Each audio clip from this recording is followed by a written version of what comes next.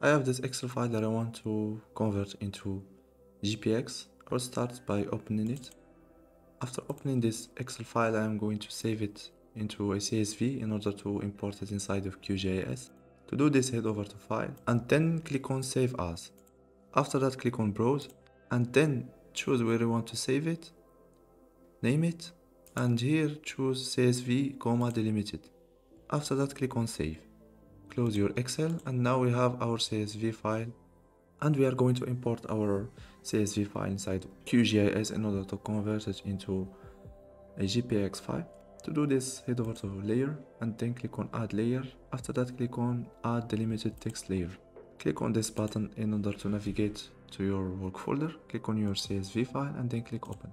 And here for the geometry definition for the X field, it's for me the longitude and for the Y field, it's the latitude.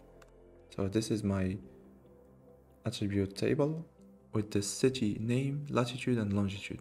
And I will click on add and then close. Now I have imported successfully my Excel file, my CSV file inside of QGIS. Now I'm going to import this file as a GPX. To do this, go to your file that you have just imported, right click on it and then go to export and click save features as. In here you have a lot of format to choose from. I will click on GPX exchange format, GPX. And here for the file name you can name it. And if you click on this button you can save it any folder that you want. Name it and then click on save. For the coordinate system it automatically takes the coordinate system of your CSV file that you have just imported.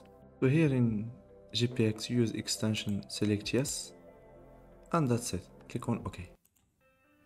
And you can see that QGIS successfully created our GPX file. If we deselect our file that we have imported, you can see here that we have our GPX file.